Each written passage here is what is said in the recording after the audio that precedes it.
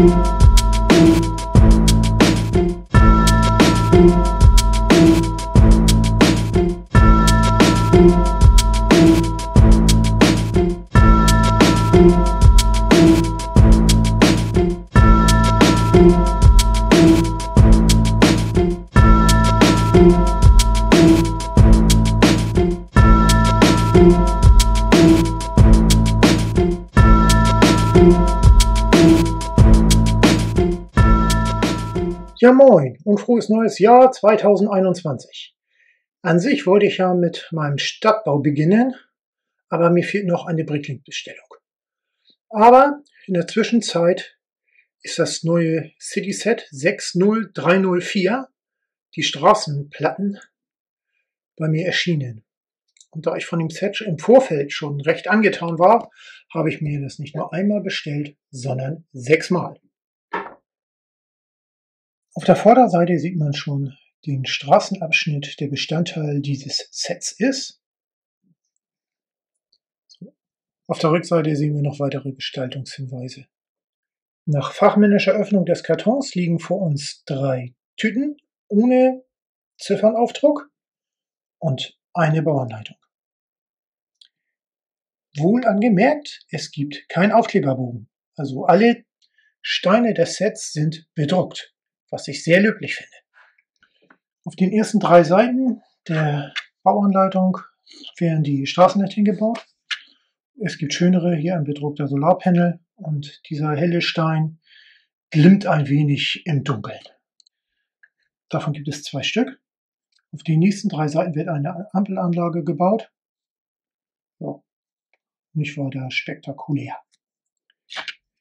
Dann gibt es ein bisschen Straßenrandbegrünung mit roter Blume und mit gelber Blume. Hierbei handelt es sich um die kleinen Tannenbäume. Dann gibt es einen Fußgängerüberweg mit schön bedrucktem Schild und eine Geschwindigkeitsbegrenzung. Nach 37 Seiten und 49 bebilderten Bauschritten haben wir diese Straßenzähne vor uns. Ja, was eher merkwürdig ist, dass diese Poller vor dem Zebrastreifen, also die gelben Poller, eher für Fahrzeuge gedacht sind, die maximal vier Steine breit sind. Denn breitere Fahrzeuge haben eine zu breite Spurbreite, so dass sie an diesen Erhebungen ohne weitere Probleme äh, dran vorbei oder über wegfahren können. Was das soll, weiß keiner. Aber diese können eben halt auch ausgetauscht werden. Was ich an dem Set nicht so schön finde, ist, dass es für den Zebrastreifen keinen weiteren bedruckten Stein gibt, um diesen hier zu ersetzen.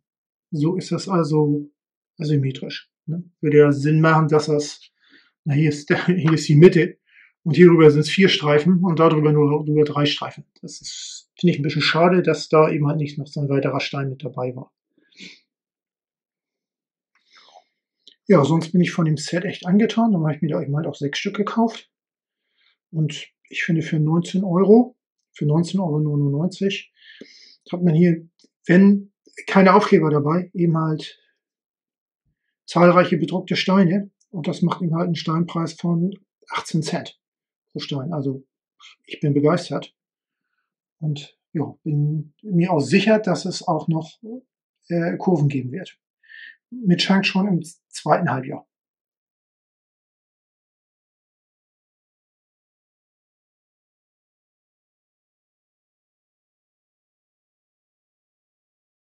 Wie man sehen kann, ließen sich die alten Straßenplatten problemlos mit den CC-Häusern, die auch auf Baseplatz positioniert sind, ohne Probleme verbinden.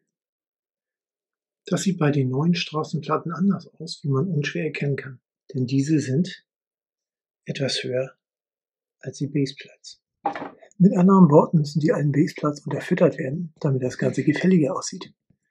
Denn so eine Straße liegt ja in der Regel etwas tiefer als der Bürgersteig.